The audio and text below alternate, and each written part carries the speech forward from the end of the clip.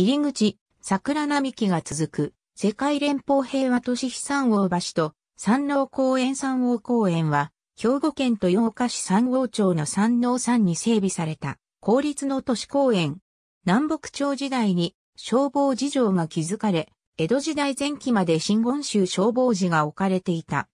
なお、本校では山王山上に鎮座する日吉神社についても記述する。豊岡駅より南南東へ約400メートルに位置する山王山南側に整備された面積1ヘクタールの公園である。園内には1953年に世界連邦運動が建立した石踏みなどがあり、豊岡市街地を一望することができる。春には桜が咲くことから上竹山公園や旧園山川に沿って南北に伸びる豊岡中央公園などと並んで豊岡市街地における桜の名所の一つとなっている。南北朝時代に消防事情が築かれ、山王山一帯が要塞化されていたされているが、詳細は不明である。1488年に播磨に攻め込んだ山名正豊が田島国に敗退してきた際に9日市の守護所に入れず、上主伝公、肥後守が一時的に住まわせたということから、この頃には城塞として存在していたと考えられている。